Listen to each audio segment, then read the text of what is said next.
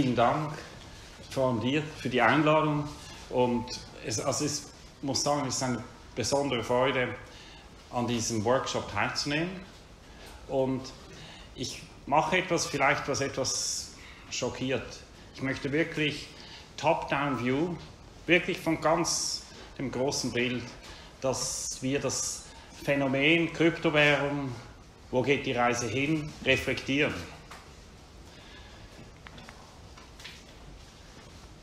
Ich glaube, was notwendig ist, bevor wir einfach in die Problematik eintauchen von Blockchain, Geschwindigkeit von Blockchain, wie löst man irgendein kryptografisches Problem, sollten wir doch zurückstehen und eigentlich das Blockchain-Phänomen im Kontext der ganzen Entwicklung von uns als Menschheit. Weil eigentlich ist eines der frühesten Innovationen der modernen der Gesellschaftsordnung ist die Erfindung von Geld. Geht tausende Jahre zurück. Und wenn Geld als soziales Phänomen geändert wird, dann ändert sich vielleicht die ganze Gesellschaftsordnung. Kurzes Verständnis von Blockchain. Viele von Ihnen wissen das alles sehr genau, aber ich glaube, es lohnt sich nochmals darüber nachzudenken. Dann wirklich eine Analyse, wie kann die Zukunft aussehen? Stellungnahme zu ein paar Problemen über Blockchain und dann ein Outlook und am Schluss unbedingt Fragen. Ich glaube, wir müssen doch kurz Revue passieren. Wie sind eigentlich die Gesellschaftsordnungen entstanden? Geht man ins British Museum, kann durchlaufen und sieht, wie ursprünglich aus den ganz einfachen Tongefäßen kleine Gruppierungen entstanden sind. Und schlussendlich wollten die Leute sagen, ja, ich brauche Commerce. Und in der Schweiz gibt es den berühmten Yeti, der irgendwie aus einem Gletscher äh, plötzlich mit dem Global Warming wurde plötzlich dieser Mann gefunden. Und der hat damals scheinbar Moos von einer von der Südseite vom Alpenmassiv auf die Nordseite transportiert. Also Trade gab es schon ganz früh. Mit sozialen Strukturen gab es die Entwicklung von Recht. Und dort ist auch die Frage, was ist eigentlich der Ursprung von Geld? Und dann ist er auch spannend, wenn man darüber nachdenkt, das Geld ist entstanden aus einer Schuldverschreibung. Es sind Schulden, die zu Geld wurden. Also Geld ist nicht im Ursprung ein Asset, sondern eine Verpflichtung. Ganz wichtig in diesem Ganzen ist auch überhaupt die Entdeckung von Schrift. Und zum Beispiel in meinem äh, Wohnung zu Hause habe ich ein, eine Tontafel, so dick. Und dort sind mit Keilschrift eingetragen eine Bestätigung für ein Handelsgeschäft. Man muss sich vorstellen, vor zweieinhalbtausend Jahren hat man solche Tontafeln fabriziert nur um festzuhalten, was eigentlich ein Geschäft abgewickelt wurde.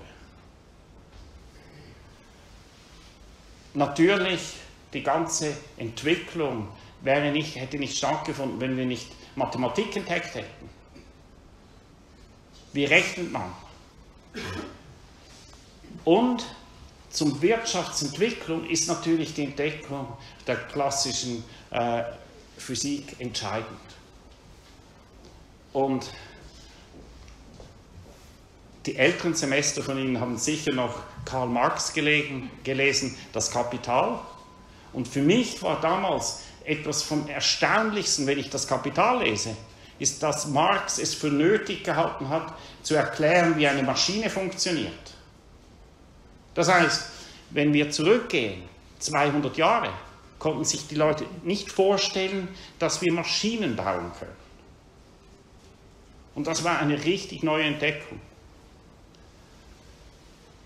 Was ist dann geschehen in den vergangenen 100 Jahren, wenn wir die Naturwissenschaften anschauen? Ab Einstein wurden Dinge entdeckt, die für die klassischen Naturwissenschaften undenkbar waren. Denkt nur an Relativitätstheorie. Wenn man hier vorbeigeht, sieht man den Namen Freud. Die moderne Technik, die wir heute erleben, die Tatsache, integraler Bestandteil unserer Realität ist, war völlig undenkbar vor 100 Jahren.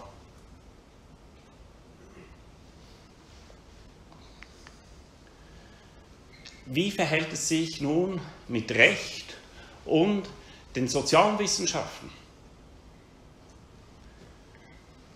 Klar, die ersten Rechtssysteme, Hammurabi, genial, hat so einen Zeigfinger aus Marmor und dort die einzelnen Gesetze eingeschrieben. Geld, ebenfalls unwahrscheinliche Innovation. Dann denken wir doch an das römische Recht, das entwickelt wurde vor 2000 Jahren. Ein solches Buch, detaillierte Rechtssystem. Was war das für eine intellektuelle Leistung? Einfach genial für mich.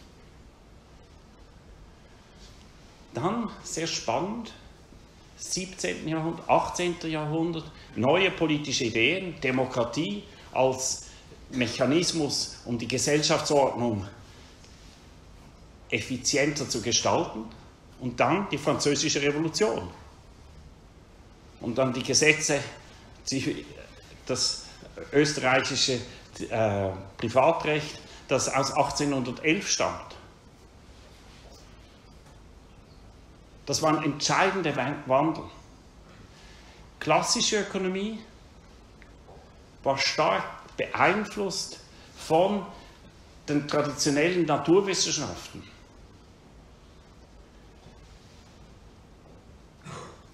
Die bestehenden Konzepte, die wir haben, die sind aber im Kontrast zu was nachher in der Wirtschaft geschehen ist. Wir haben heute eine moderne Kommunikationstechnologie, die war unvorstellbar noch vor 50 Jahren. Internet und die heutige Globalisierung. Was möchte ich hier äh, zum Ausdruck bringen?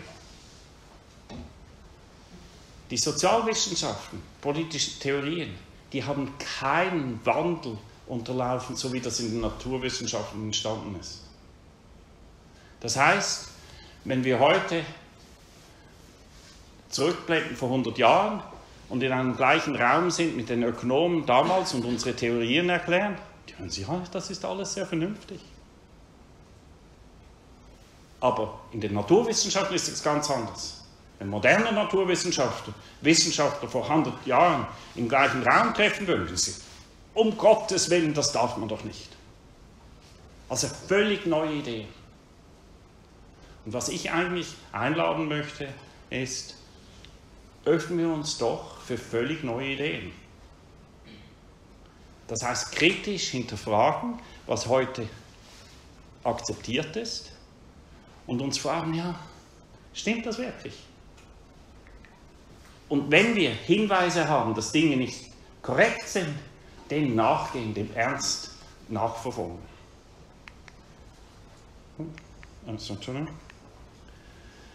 Nun, um was geht es eigentlich? Was müssen wir, wenn wir Sozialwissenschaftler, politische Theorien verfolgen, was müssten wir eigentlich erreichen? Also, für mich ist doch klarer Fall. Nachhaltigkeit. Es kann ja nicht sein, dass wir eine Wirtschaftsordnung haben, die einen Erwartungswert von noch 10 Jahren, 20, 30 Jahren hat. Macht doch gar keinen Sinn. Gesellschaftsordnung, das ist emergent.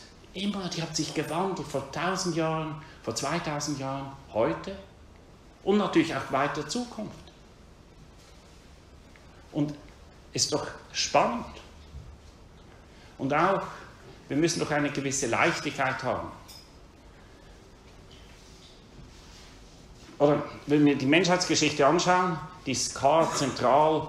Zuerst hat die Erde ist das Zentrum und Heute denken wir das Universum. Es gibt ein Universum. Vielleicht gibt es auch eine unendliche Zahl von Universen. Und was ich doch immer spannend finde, ist, wenn man in die Natur geht, ist doch unwahrscheinlich die, die, effektiv dieses Wunder der Natur, der vielen Phänomene, die, die dort ablaufen. Also, was müssen wir erzielen? Wir müssen eine Wirtschaftsordnung und Gesellschaftsordnung herbeiführen, die im wahrsten Sinne robust ist. Und für mich ist die Inspiration eigentlich der menschliche Körper. Weil es doch unwahrscheinlich. Also Sie haben eine Eizelle, ein Spermium, aus dem gibt es ein kleines Embryo und dann wächst es, wird älter und mit der Zeit entsorgt es sich, mehr oder weniger.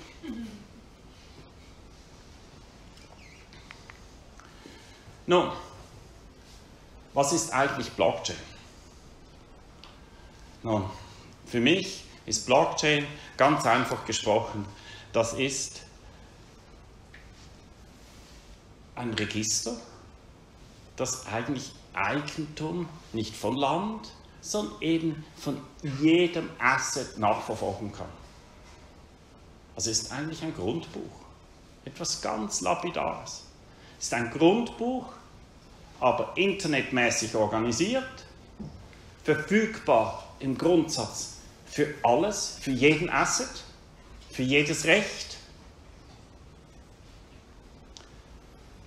Somit wird alles in Zukunft ein alter Ego haben. Das heißt, wir haben die effektive Sache und dann gibt es einen digitalen Token, der dieses, diese Sache oder dieses Recht repräsentiert. Aber jetzt gibt es noch etwas Zweites, was ganz wichtig ist. Jeder dieser Token kann aufgeteilt werden in ganz kleine Teile. Also nicht nur als Ganzes, sondern in Mikroteile. Und für mich ist wichtig, außer wenn man effektiv ein technischer Experte ist, befassen wir uns doch nicht mit den technischen Details. Und das ist etwas provokativ, aber ich glaube, es ist wichtig, wir müssen, wir müssen die, das große Ganze sehen und uns nicht verwirren lassen durch eine technische Debatte. Und wir kennen ja, wie das ist, manchmal, wenn wir uns zusammensetzen, möchten ja gewisse Leute zeigen, wie viel sie wissen. Und man kann sehr viel zeigen, wie viel man wisst, indem man sehr stark argumentiert. Und gerade für im Kontext von Sozialwissenschaften, wo man so viele Themen hat, ist wichtig, diesen Top-Down-View zu haben. Und was ich behaupte, ist die technischen Details, da gibt es so viele Lösungsansätze, und ich werde auf das noch zu sprechen kommen, dass sich das, die Hindernisse, die heute bestehen, werden schnell überwunden werden. Nun, alles, jede Sache wird ein alter Ego haben, ein Token, und somit wird ein Bedarf oder besteht ein Bedarf oder eine Möglichkeit, diesen Token zu tauschen mit einem anderen Token. Also jeder Token möchte potenziell gewandelt werden oder ausgetauscht werden mit jedem anderen Token. Und das ist eine nicht triviale Aussage. Heute, wenn Sie zur Börse gehen und einen Kaufauftrag nehmen, dann können Sie eine Aktie kaufen von zum Beispiel der, äh, äh, irgend, der, ich weiß gar nicht, welche äh, Firmen hier gehandelt werden. Und wenn Sie die wieder verkaufen, dann kaufen Sie wieder Euro. In der Zukunft können Sie aber jeden Token tauschen mit jedem anderen Token. Das heißt, wenn Sie eine Aktie haben von VW, dann verkaufen Sie VW-Aktien gegen Öl oder gegen Sonnenenergie oder gegen Land. Land in Wien, aber vielleicht Land in China. Oder vielleicht Land gegen eine Versicherung. Oder Land gegen Mittagessen. Und dann wird man natürlich fragen sich, ach, wie kann das sein, der Empfänger bekommt plötzlich irgendwie als zum Beispiel eine Tesla-Aktie für einen Hamburger, aber er kann ja Tesla-Aktien nicht brauchen, um das Fleisch einzukaufen für den Hamburger. Aber natürlich wird es Market Makers geben, die den Tesla-Aktie entgegennehmen und dem Verkäufer von Hamburgers vielleicht Gutscheine geben für Lidl. Also das heißt, es gibt Market Makers, die das Zwischengeschäft machen und somit ist, wenn ich von einer elektronischen Tauschwarengesellschaft rede, da heißt das nicht, wie im traditionellen Tauschwarenhandel, ich komme mit einer Kuh und brauche, ich möchte Getreide tauschen, sondern es gibt einen Zwischenhändler, der das Zwischenglied darstellt und dem Empfänger das gibt, was er haben möchte und dem Lieferanten das abnimmt, was er hat. Und jetzt denken Sie vielleicht, ach, kann ja nicht wahr sein, wie soll das möglich sein? Aber Sie wissen ja alle von LinkedIn, den kleinen World-Effekt, dass eben ganz einfach ist, solche Netzwerke aufzubauen, weil die Vernetzung eben viel größer ist, als man sich zuerst intuitiv denken würde. Also die Welt wird sich wandeln von einer Welt, wie wir noch vor 10, 15 Jahren dachten, dass es nur eine Währung gibt oder zwei oder drei, zum genau Gegenteil einer riesen Vielzahl von Währungen. Also es ist völlig ein anderes Weltbild. Klare Aussage, alle Assets, Aktien, Obligationen, Land, Mietverträge, Utility Tokens, Loyalty Points, alles wird, bekommt ein alter Ego, wird tokenized. Und was sehr wichtig ist, wenn man jetzt von einer Firma spricht, heute hat Firma, welche Finanzinstrumente hat eine Firma? Firma hat Aktien und vielleicht kann sie noch Obligationen ausgeben. Vielleicht, wenn man auch noch daran kann sie etwas Gutscheine verteilen. Aber in der neuen Tokenwelt kann man Aktien tokenisen und ganz wichtig, man kann Utility Tokens rausgeben. Und die Utility Tokens sind eben Anrechte auf Dienstleistung des Lieferanten. Und was so interessant ist, man kann diese Tokens ausgeben als Zahlungsmittel für die Mitarbeiter, die dann das als Lohn empfangen können. Das vermindert die Kapitalaufnahme, die die Firma machen muss, um überhaupt zu lancieren, weil sie den Mitarbeitern direkt die Tokens übergeben kann. Und noch spannender ist, man kann im Sinne von Kickstarter den Interessenten, dem Projekt, solche Tokens geben. Das heißt, man kann vom ersten Tag an seine Kunden aktivieren und incentivieren, teilzunehmen an der ganzen Kundenentwicklung. Und ähnlich wie früher, ich kann mich erinnern, vor 20 Jahren, als man den Leuten sagt, ja, es kommt das Mobile-Telefon, haben die Leute, so schwere Mobile-Telefons, das macht doch gar keinen Sinn. Aber heute ist doch genial. Ich kann auf einem Gletscher stehen und direkt mit jemandem telefonieren, der in der Wüste ist, am ganzen anderen Ende der Welt. Und insofern ist die Tokenization und das alles Zahlungsmittel ein unwahrscheinlicher Befreiungsschlag. Nun, was ist Critical Path? Als erstens muss ich sagen, wenn man heute etwas Tokenizing macht, uh, es ist so mühsam. Ich meine, das muss so viel einfacher sein, als überhaupt eine Website zu kreieren. Das muss wirklich nahtlos gehen. Und es muss so machen, dass man das aufladen kann. Es muss auch klar sein, dass man natürlich Scams ganz einfach identifizieren kann. Dass nicht jeder einfach schnell seinen Token kreieren kann und sagt, bumm, das ist das Sprüngli-Token. Sondern man möchte ganz klar von einem äh, wissen, hat das Gehalt und ist das Qualität und wie kann man das erzielen? Nun, Was es auch braucht, ist natürlich einen globalen Marktplatz. Dass man einen Token tauschen kann gegen anderen. Und man möchte nicht einen Exchange haben, wo einfach das ganze Volumen, das dort getradet wird, künstlich generiert ist. Man möchte zu Exchanges gehen kann, die Industry Strength haben. Top-Qualität muss essentiell sein. Es muss auch ähnlich wie auf einem Fußballfeld, es muss ein Level Playing Field sein. Es geht ja nicht, dass das Fußballfeld so ist oder so oder so oder sich dynamisch ändert, wenn etwas äh, krumm läuft. Nun, es ist auch klar mit dieser großen Zahl von neuen Tokens, was sicher nicht geht, ist, dass die Liquidität in diesen Märkten davon abhängt, ob Leute manuelle Trades machen.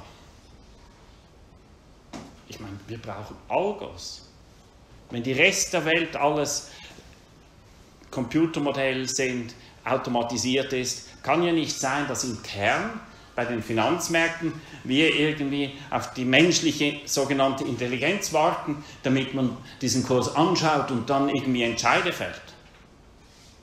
Das müssen Algos sein, die 24 äh, Stunden pro Tag, sieben Tage die Woche laufen können. Nun, wo stehen wir heute eigentlich? Es muss klar festgestellt werden, dass die ökonomischen Modelle, die wir heute an Orten wie hier lernen, die funktionieren nicht in einem Kontext 24 Stunden, sieben Tage die Woche.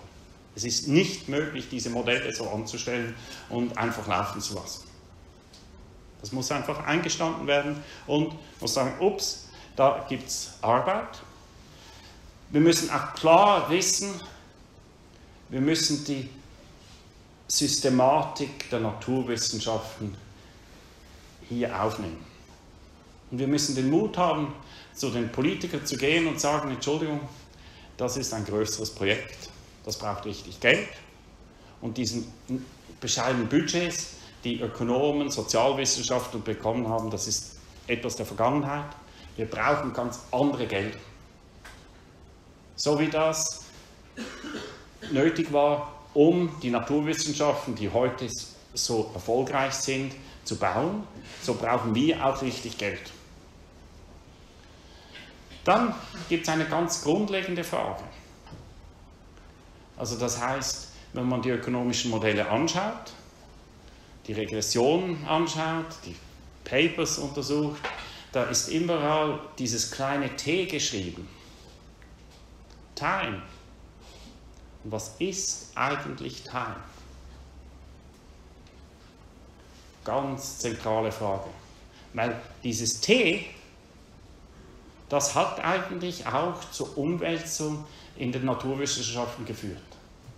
Dass plötzlich, als man diese Morley-Experimente gemacht hat und die dann zur Relativitätstheorie geführt haben, ja, irgendwie, das mit der Zeitrechnung stimmt nicht. Wir kommen nicht aus, wenn wir ein statisches Zeitraster haben, wo eben nicht, wo das Modell ist, dass man unendlich schnell immer schneller gehen kann, sondern einschaltet, nein, die Lichtgeschwindigkeit ist ein oberstes Maß. Und so müssen wir uns auch überlegen, was ist Zeit wirklich. Dann in diesem Zusammenhang gibt es, glaube ich, eine ganz grundlegende Frage, die wir uns stellen müssen.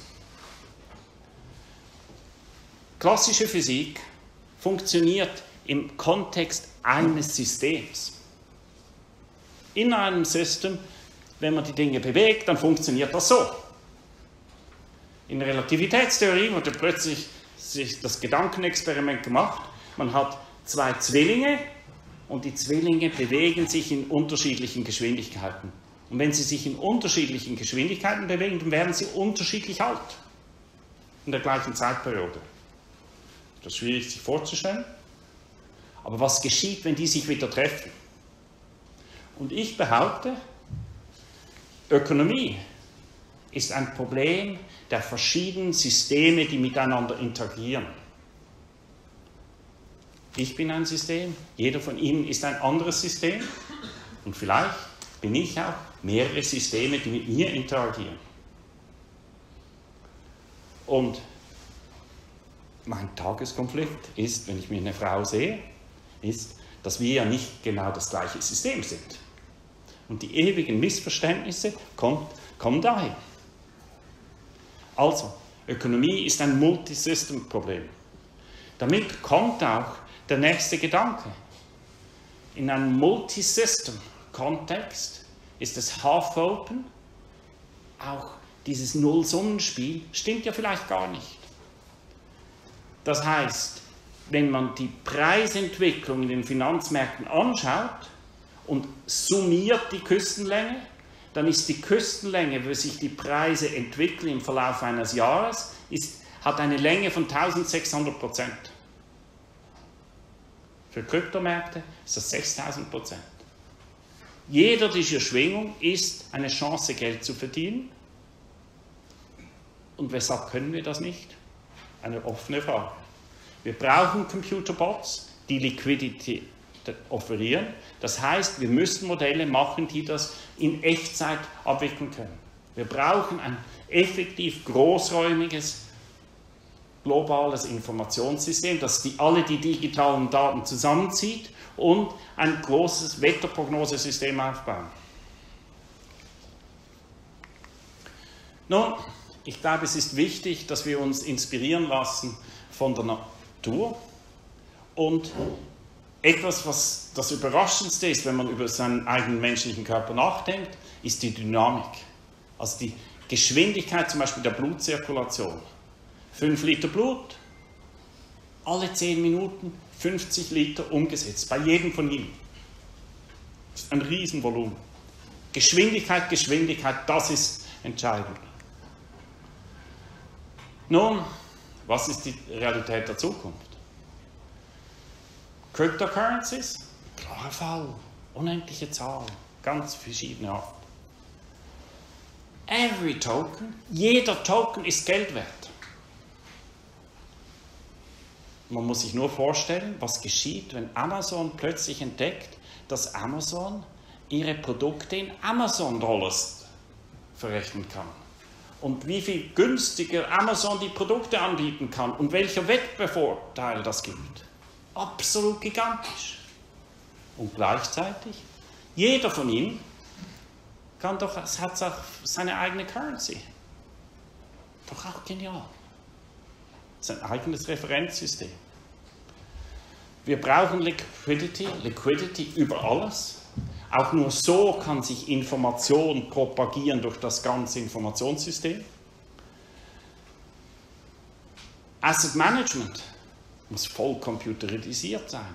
Und anstatt Investmentstrategien, die Buy and Hold sind, brauchen wir Investmentstrategien, die Liquidität liefern für die Finanzmärkte. Das heißt, dass man Geld verdient aus dieser langen Küstenlinie, indem man Liquidität offeriert. Das ist ein ganz anderes Bild von Asset Management. Nun, jeder wird sagen, ja, also Blockchain. Ah, äh, Bitcoin-Blockchain, das ist, ist, skaliert ja nicht. Sechs Transaktionen pro Sekunde. Von, überhaupt nicht. Es gibt so viele Anstrengungen, um heute effiziente Blockchains zu machen. Was wir nicht wissen, ist, welche Blockchains wir gewinnen. Und das ist einfach so eine Aufstellung der relativen Effizienz der verschiedenen Blockchains.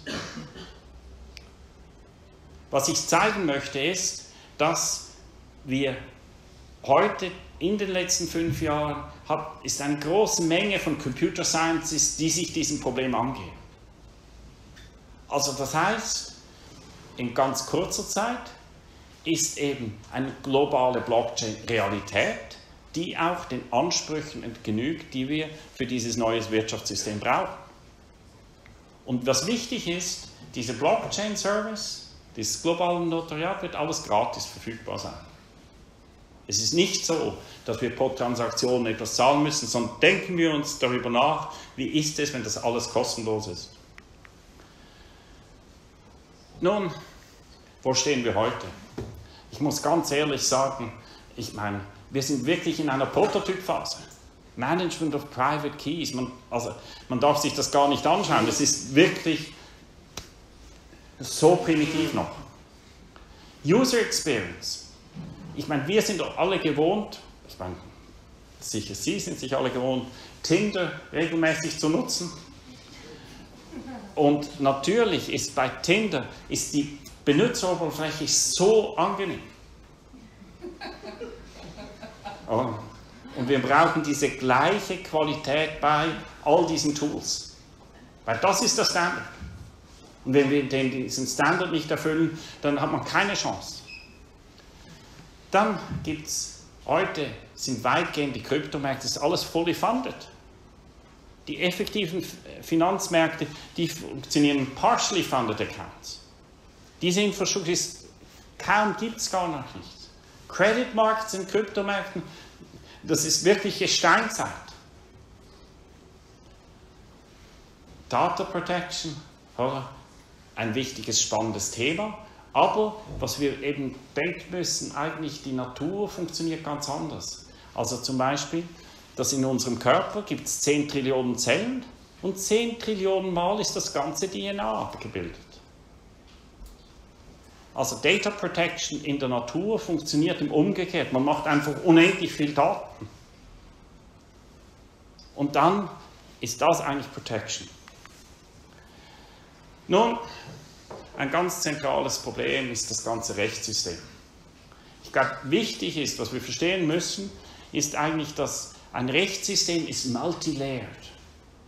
Das ist nicht eine Ebene, sondern es gibt in ganz verschiedenen Ebenen. Wir haben das staatliche Rechtssystem, aber nachher darüber gibt es zum Beispiel mit dem, äh, mit dem Staatsrecht, mit dem, äh, also mit dem staatlichen Recht und dann sind General Business Conditions sind auch ein Rechtssystem. Also wenn Apple mich zwingt, agree to the General Business Conditions, das ist Apple General Business, das sind Apple Gesetze.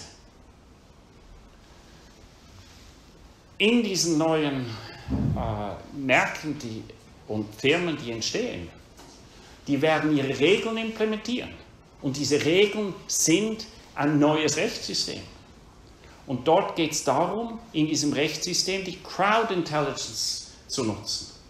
Man denkt nur an Airbnb. Airbnb hat das Review-System. Und die Reviews erklären, welche Wohnung, äh, welche Zimmer sind gut, welche Zimmer sind schlecht, welche. Und dieses Reviewing hat einen sehr wichtigen regulatorischen Einfluss, um sicherzustellen, dass nur qualitativ hochstehende Zimmer überhaupt auf den Markt kommen. Also wir müssen uns im Rechtssystem überlegen, wie können wir dieses Evolutionäre nutzen. Viele da werden sagen, ach, das ist so gefährlich. Ich bin der Meinung, dank dem Small World Effekt, dass jeder von ihnen kennt 50 Leute, jeder von diesen 50 kennt wieder 50, der kennt wieder 50, ist man sechs Links, ist man vernetzt mit 15 Milliarden Leuten. Das heißt, diejenigen, die die sogenannten schwarzen Schafe sind, die sind so einfach identifizierbar. Das ist ganz im Gegenteil. Es ist wie in einer Schulklasse. Der Lehrer sieht von oben runter und sieht genau, was läuft. Vielleicht sagt er nichts, aber er sieht es genau. Und so sind die schwarzen Schafe völlig einfach identifizierbar. Und ich behaupte somit, dass anders als was in der Tagespresse sagt, diese neue Kryptowelt führt zu einer unwahrscheinlichen Transparenz und ein Ausmessen der Schwarzen gegenüber den weißen Schafen. Nun, in diesem schnell sich ändernden Markt, eine Firma, die Erfolg haben muss, muss Konsistenz, Qualität ist entscheidendes Merkmal. Sonst hat man keine Chance. Das heißt, wenn heute in diesem schnell ändernden Markt eine Firma einen Global Exchange aufbauen möchte, dann geht das nur mit Qualität. Das ist eine Grundanforderung, um massenhaft Kunden überhaupt zu gewinnen. Und das heißt, die Organisation muss diese Art Kriterien in ihren Service aufbauen, um diese Qualität sicherzustellen. Das heißt, die großen Exchanges, die entstehen, die werden ihr eigenes Rechtssystem entwickeln, um Spreu vom Weizen zu filtern. Nun, wo stehen wir heute? Ich glaube, das globale Finanzsystem, muss man sich vorstellen, ist 280 Trillionen Dollar groß. Market Cap von Kryptomarkt ist rund 200 Milliarden. Wirklich fast nichts. Die Finanzkrise von 2008 ist schon bewältigt, aber nur in Anführungszeichen mit einem massiven Quantitative Easing und indem man Zinsen zu Null gebracht hat und Bilanzsummen der Zentralbanken so erhöht hat, dass sie eine weitere Verdreifachung nicht ertragen würden. Wie ist die Zukunft? Für mich ganz einfach. Jeder von Ihnen hat ja ein Smartphone heute. Und in diesem Smartphone der Zukunft ist ein Wallet. Und dieses Wallet ist die persönliche Privatbank. Nicht wie vor 100 Jahren, 200 Jahren, dass es ein paar Privatbankiers gab, die Kredite vergeben konnten, äh, Emissionen machen könnten, konnten, Geld aufnehmen. Sondern jeder von ihnen hat in seinem Wallet, in seinem Smartphone sein persönliches Wallet. Da kann er zu Zentralbankzinsniveaus Geld aufnehmen. Auf Tokens, die hier sind und die ersten 20, 30 Prozent der Tokens bekommt er einen Darlehenszins oder Kredit zum Zins, als ob er eine Nationalbank wäre. Ich behaupte, was uns bevorsteht, ist wirklich ein Feuerwerk von revolutionären Änderungen. Und das Spannende hier ist, dass man darüber nachdenken kann, Thesen aufstellen kann, was eben kommt. Und somit Fragen und Antworten. Jeder.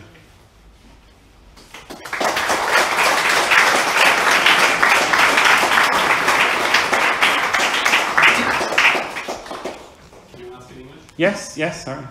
I have to pick you up on one point. You said correctly there has to be an exchange Yes. of cryptocurrencies. But why does there have to be one? You use the phrase one exchange. You mean conceptual or one specific? In So- a world without trust with cryptocurrency registries, then of course you can have multiple. Uh, so, so obviously, so first I have to I have to explain. I think maybe I'm overemphasizing this one exchange uh, issue because I'm uh, um, because of the following. There is at the core a matching engine where all the limit orders are collected, and I argue that if you want to achieve the best bid or best ask, you need to aggregate all the limit orders across the world. NMS. Yes. But, you know, kind of it can appear as multi exchanges, but in the background, somewhere, there is an aggregation. Because at this aggregation, and this is very subtle, it's not about just price discovery of volumes which are offered, but at what rates would the other part, the same party take the other side of the trade? Yes. So a market is a much more subtle object than we today understand. And I believe that this will be some very complex engineering which will aggregate. If you do it like that, because that's a dark pool.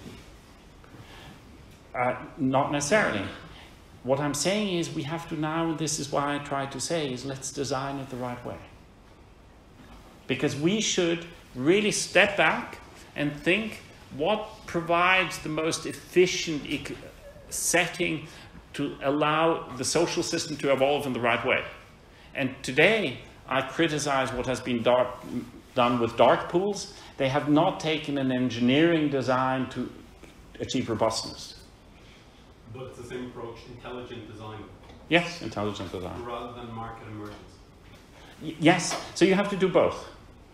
Orthogonal. I mean, kind of try to have an intelligent design, but then we'll see what works.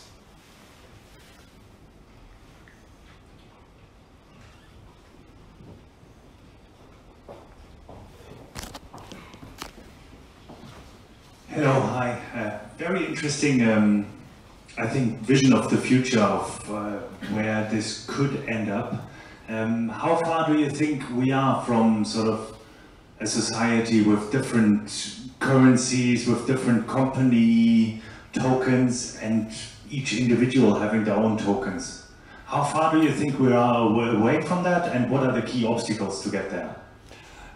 What I would argue is in a traditional setting, where you have sound balance sheets of central banks, sound balance sheets of the big banks, really 10, 15 years away.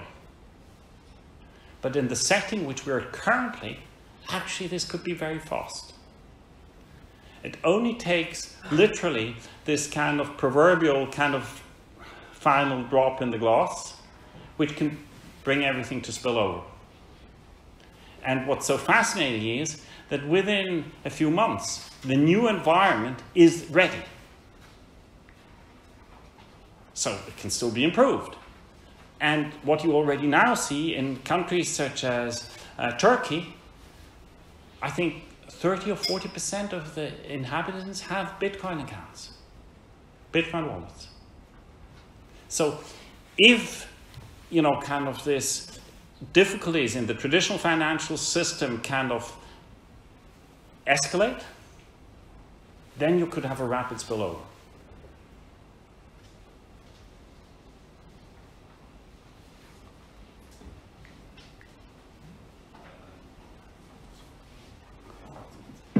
Hi. Um, uh, thank you very much for that talk. Uh, my question goes to economic model. No. Um, could you emphasize a little bit about uh, which economic models could be suited for modeling cryptocurrency? Uh, yes. So I have to say that my own uh, work has been actually, if, in my career, is to look at tick data and really, you know, kind of trying to understand why traditional models don't work. And I have come to the conclusion, together with my colleagues, that it's really the definition of time that's not suitable. So we need an event-based definition of time. Just to give you a very brief explanation. So imagine a, a data series goes up, and we sample time, uh, sample that data series, not with a physical time grid, but with an event-based grid which is computed in the following way. We sample the price when it has dropped by a certain threshold, such as 1%. That's the first data point which I collect. The second data point is after it has data series has dropped, when it has re moved back up again by the same threshold. That's the second data point. The third data point is when it drops from a new high again by the same threshold. So you collect data based on an event operator. And if you use this event operator, you discover something very remarkable. That is, you identify a directional change, and the first intellectual question which you can ask yourself, how far will it continue to drop before it goes back up again? And you discover that it, on average, the expected value is it will move down by another same amount. That's true for any threshold. And that phenomenon of this overshoot of the same size as the threshold gives rise to scaling laws. And the scaling laws are a frame of reference, which you can use to build models. So this is a very brief introduction to a kind of new way of thinking about economics. There is a paper called Alpha Engine.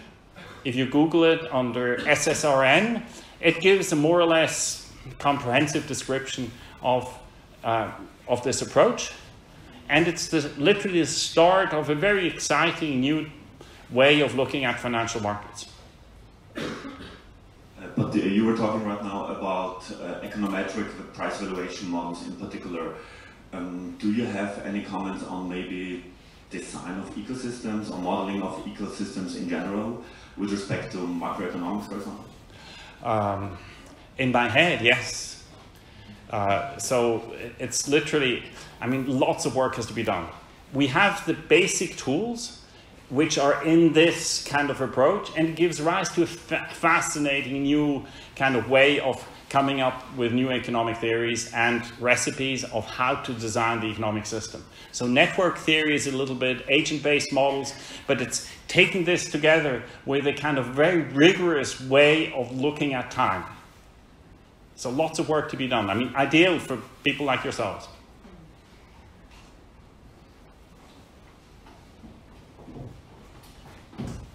Thank you. Uh, in your world, you could virtually talk. Sorry, you would virtually tokenize everything. I'm sorry about the noises again.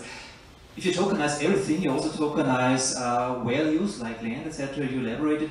Uh, what's the role then, like 10 years down the road? Uh, current classical cryptocurrencies would then still play because I have a hard time picturing how they would fit in if you can actually exchange every token against everything. Every variable has a token uh, matched in the crypto world. What would you use Stellar or EOS or even Bitcoin for? I mean, they'll be a minor, they'll be there, but relatively minor. Okay, makes sense. Oh. Thank you. Yeah.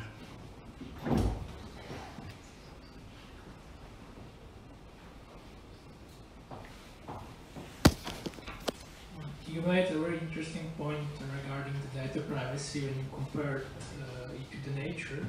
Would you care to elaborate a little bit on that?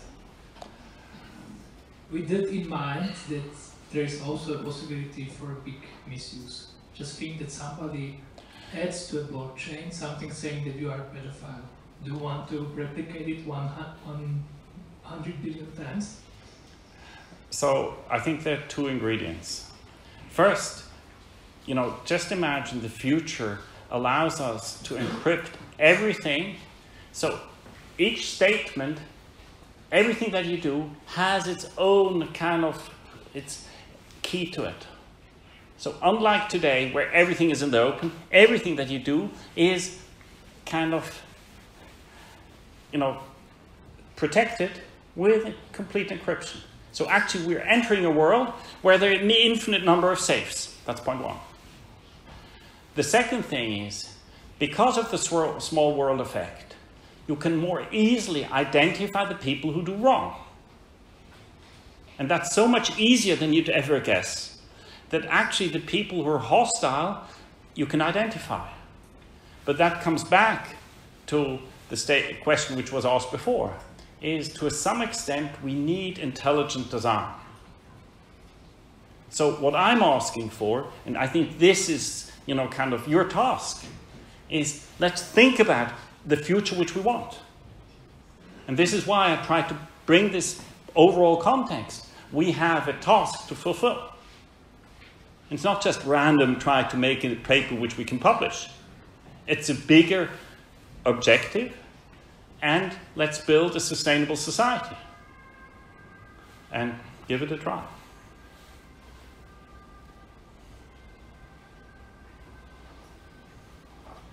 Mm-hmm. Wenn es keine weiteren Fragen mehr gibt, nochmal vielen, vielen herzlichen Dank für den sehr, sehr inspirierenden Vortrag. Ja.